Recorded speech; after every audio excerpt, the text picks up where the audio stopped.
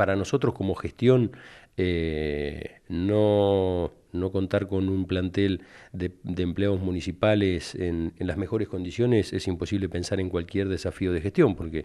eh, uno puede tomar las iniciativas, pero, pero es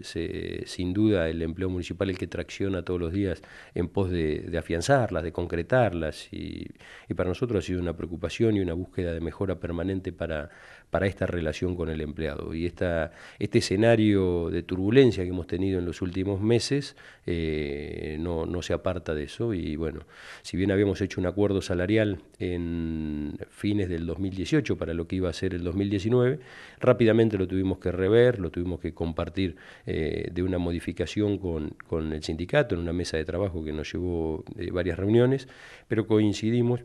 en que por ahí hacer el esfuerzo de ir atendiendo mensualmente eh, los incrementos o las variaciones inflacionarias que, vamos viendo a nivel nacional. Y de ahí partimos y ya en el mes de junio empezamos a tomar la variación eh, inflacionaria de mayo, en julio la de junio, en, agosto vamos a tomar la de julio y así sucesivamente eh, hasta llegar a fin de año y ver de qué manera terminamos lo que es el, el periodo 2019. Eh, el esfuerzo del municipio está, está en todo momento. Y ahora, bueno, también eh, con este escenario de, de pospaso de la semana del, 12 al, 17 de agosto, que hubo también una nueva turbulencia, eh, bueno, estamos acordando una nueva reunión con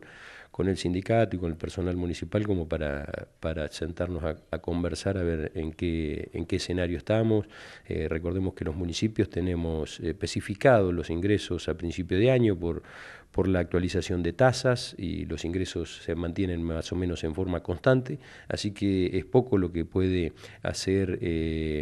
eh, el, Tesoro o la Administración Contable Municipal para, para hacer una, una, mejora muy por encima de, los valores que, hemos estado manejando. Eh, como te digo, seguiremos haciendo el esfuerzo y tratando de tener una un, punto de, encuentro que es la, información que nos da el INDEC, que es uno de los organismos que, se puso en valor después de, muchos años eh, de, mal manejo de la información de estadísticas. El INDEC hoy por hoy es eh, uno de los organismos más creíbles que, tiene nuestro país y en buena hora. Y en base a lo que nos brinda mes a mes es donde estamos poniendo todo el esfuerzo para, para poder eh, acompañar la variación salarial.